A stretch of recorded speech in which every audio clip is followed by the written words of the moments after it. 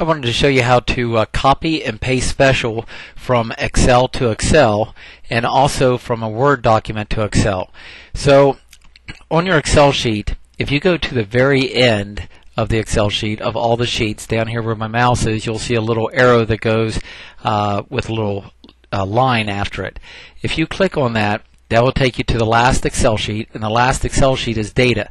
And on that sheet, you'll find data from the textbook for chapters 2 through um, 10 at least. And the way you can uh, uh, save yourself from having to type this data in is highlight the data and then right mouse click and copy. Then go to the sheet. I'll use these arrows to go to the sheet that I want to go to and I'll use this button right here, this arrow with a line to the left to go to uh, the very beginning and I'm going to go to the raw data sheet.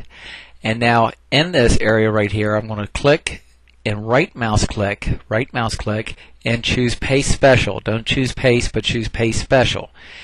And now when you choose paste special you'll get a lot of choices and the choice that uh, is the best to use is this one right here, values.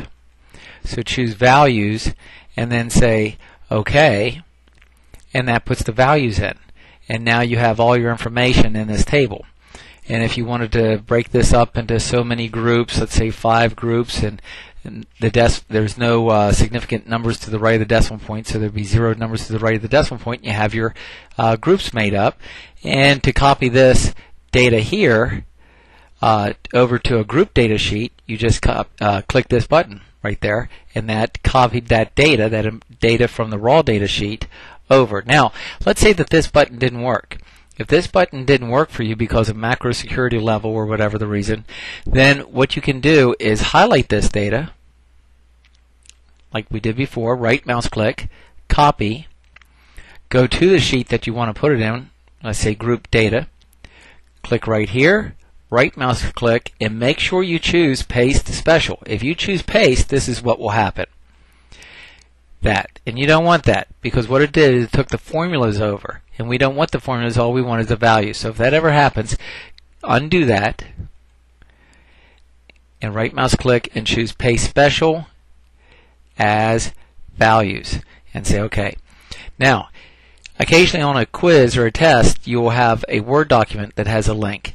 And so let me go ahead and uh, I have a quiz question from section uh, chapter 2 and you could type in all this data but eventually there might be so much data that you don't want to type it all in.